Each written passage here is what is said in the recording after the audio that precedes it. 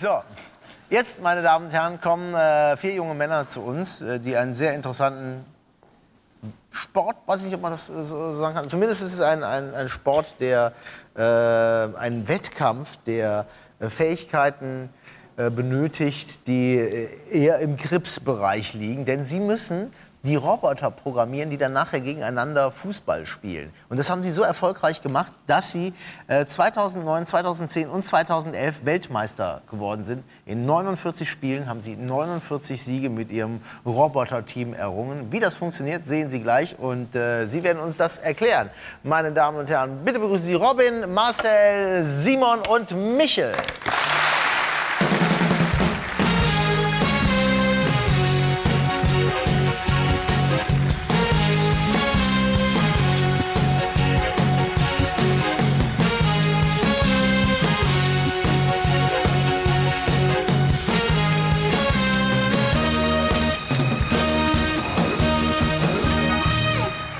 So, herzlich willkommen. Wir werden gleich äh, eine Partie, wie nennt sich das, Robo Robo-Soccer. Robo-Soccer Ganz genau, spielen. ja. Roboterfußball. Und äh, ihr seid alle Studenten der Informatik. Richtig, Informa äh, Bachelorstudenten der Informatik und wir, an der Uni Bremen. genau, wir machen halt das als Bachelorprojekt. Man kann das als Bachelorprojekt machen, diese Roboter programmieren. Nicht das bei RTL. Nein, genau, das war. Und man kann das als Masterprojekt dann weitermachen. Auf jeden Fall ist dann so der Wettkampf da und ein bisschen Und da seid ihr offensichtlich sehr erfolgreich mit, denn äh, ihr seid dreimal Weltmeister geworden. Ja. Dreimal Weltmeister, gutes Torverhältnis. ja. Und Viermal in Folge die deutschen Meisterschaften gewonnen. Das heißt, ihr wisst, wie man den Robotern am ehesten äh, sagt, was sie tun müssen. Ja, Oder ist da auch ein bisschen Glück dabei?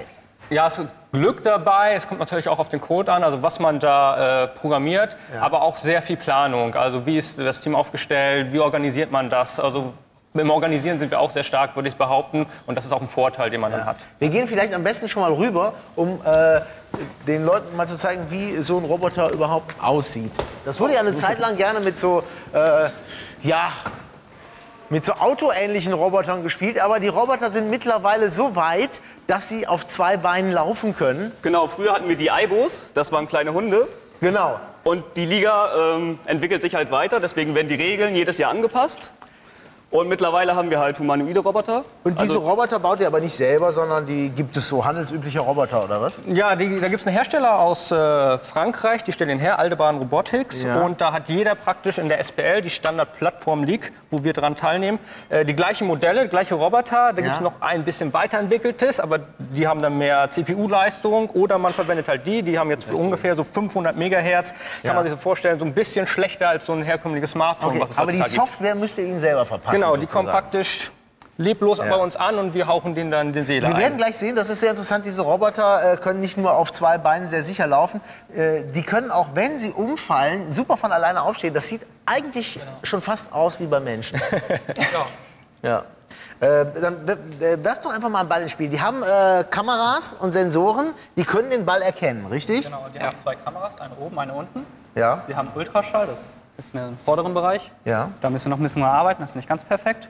Und sie können miteinander kommunizieren. Das heißt, wenn der Roboter den Ball sieht, dann kann er dem Torwart zum Beispiel sagen, ey, pass mal auf, da hinten ist der Ball oder umgekehrt. Ah, okay. Aber über WLAN. Also die reden Genau. nicht, das können sie auch, aber Ja. Kommunikation über WLAN. Okay, und äh, das Team mit dem, äh, mit dem rosa äh, Lendenschurz ja, äh, erkennt auch, dass äh, das Team hier mit dem blauen Lendenschurz ein anderes ist. Die Genau. erkennen sich dann an der Farbe, oder wie? Ja, genau. Es gibt zwei Farben, zwei Teamfarben, immer rosa und blau. Und daran Ja. können die auch sehen, dass sie sich zum Beispiel nicht zu sehr umrampeln. Ja. Wir können die einfach mal jetzt starten.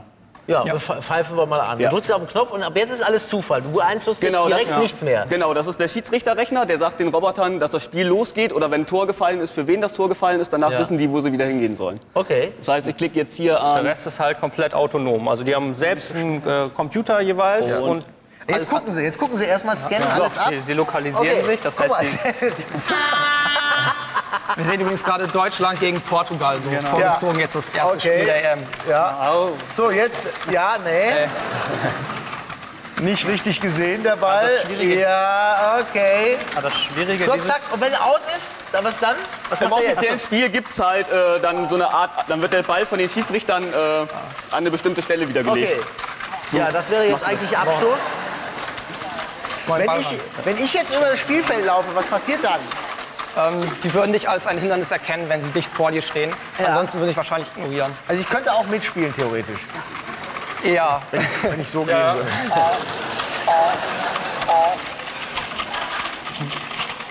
So, jetzt äh, ist aber noch nicht dran vorbeigekommen. Jetzt wird spannend. Genau, das ist äh, Ja. immer eine große Herausforderung an Roboter vorbei. Die merken halt, dass sie jemand anderen am So, Arm jetzt müsste rampeln. der Torwart rauskommen. Da, er bewegt sich schon, er, aber da kommt, äh, kommt der Stürmer von äh, Deutschland. Ist es Deutschland? Ah, Ja. Pass. Ja, Pass.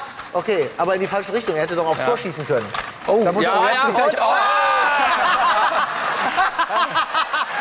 Aber und gehalten. Aber jetzt hat er den Ball hinter sich. Moment, er hat den Ball hinter sich. Nein! Ja, was jetzt? Ah! Da muss, man, da muss man den doch reinmachen. Ja, kann man Also passieren. es sei denn, äh, man heißt Arjen Robben. So, jetzt müssen wir den Ball wieder neu einwerfen. Aber die sind auch immer so unterwegs, die hören nie auf zu laufen, wie so Jogger an der Ampel. Die immer so. Also die laufen schon ziemlich gut. Früher sind Ja. sie halt langsamer gelaufen. Colin Ja. von uns aus dem Team, der hat das halt äh, sehr gut programmiert mit dem Laufen. Also Ja. das sieht schon deutlich besser aus als noch vor Jahren. So, guck mal, was soll das denn jetzt werden? Ja. Eine Art, äh, So ein bisschen Abwehr. ja, das ist mehr so. Ja, Portugal muss noch ein bisschen raus. Portugal muss noch ein bisschen kommen. Aber der Deutsche spielt ja jetzt, wer ist das, Boateng oder was? Oh, das weiß ich nicht. Ja, äh, spielt den Ball Schweini. natürlich jetzt in die eigene Hälfte. Ah. Muss man da Er nachhelfen ist oder vermutlich gerade, ähm, man muss es erklären, er schießt den Ball ähm, zur Seite raus, weil er ist gerade verwirrt. Ja, das merke ich, dass er verwirrt ist. Okay. Und mit diesem Team habt ihr also dreimal die Weltmeisterschaft Ja. gewonnen. Das ist ja. Ja. erstaunlich. Also bis zur nächsten Das heißt, die anderen sind noch schlechter. Ja, wir haben halt immer über ein ganzes Jahr und über ein ganzes Jahr laufen sie nie so ganz perfekt und dann Ja. so eine Woche vorher wird das alles noch Und jetzt Eigentor, sehe ich jetzt etwa ein Eigentor? Nein! Nein, schieß nicht! Oh. Das ist ja jetzt schief gelaufen. Das Schwierige ist, also die Regeln werden jedes Mal. Aber guck mal, steht wieder auf. Zack. Ja, was war, was war jetzt das Problem? Genau, also die, die Tore sind beide gelb. Deswegen ist es natürlich für einen Roboter erstmal schwierig zu erkennen, welches Ach denn so. jetzt das eigene, welches das äh, gegnerische ist. Und da kann es halt schon mal passieren, dass der Roboter sich irgendwie dreht oder so Ja. und dann denkt, oh, das gegnerische Tor. Oh, guck mal. fault. Ah, jetzt, jetzt guckt er erstmal, wo ist der Ball? Ja, das. Genau, ich habe ja eben Ah, jetzt, okay, gut, jetzt dribbelt er. von dieser Regelverschärfung erzählt. Und das ist halt seit diesem Jahr erst, dass beide Tore die gleiche Farbe haben. Ja. Vorher Okay. war ein Tor blau und die wussten halt, wenn sie ein blaues Tor sehen, Stürmerfaul, würde ich sagen. Aber guck mal, wie er aufsteht, das finde ich super. Zack, und da ist er schon Kommt wieder. schon gleich der nächste. Also da kommt schon der, Der nächste. Jetzt musste er natürlich steil gehen. Ne? Ja, der, Zack, und was jetzt? Komm, komm, komm. Oh!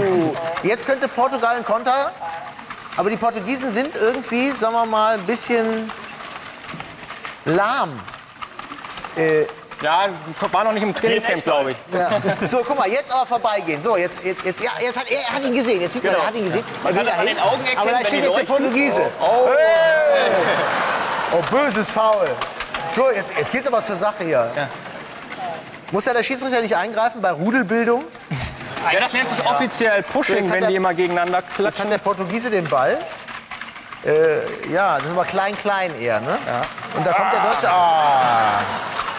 Oh, oh, oh, oh, jetzt tritt der eigene Mann äh, den Krankenhausreif oder Geschichte.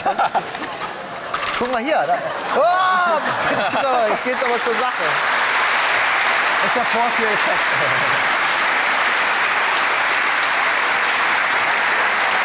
Ja. Man merkt, dass. Ja, ja, jetzt, jetzt, jetzt kommt er wieder. Ich sag mal, in 50 Jahren spielen alle so Fußball. Oder? Oh, das wäre ja ein Rückschritt. Ja.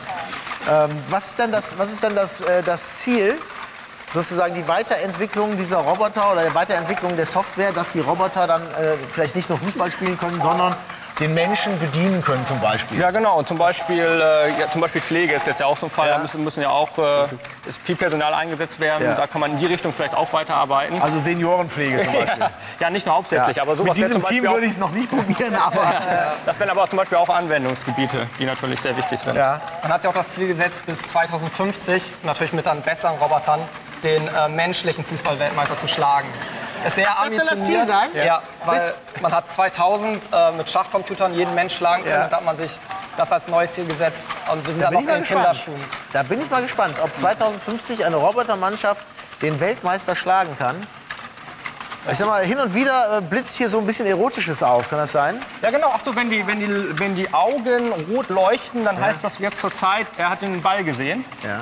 Eigentlich müsste Er der, ist auf dem Weg zum nächsten Eigentor hier. ja, müsste ihm eigentlich gleich sagen, dass er in die falsche Richtung rennt. Tut er aber nicht. Und da ist er. Oh, schlechtes Home. Also schon zwei Eigentore der deutschen Mannschaft. So, da ist das Spiel zu Ende. Deutschland schlägt sich selber mit 2 zu 0.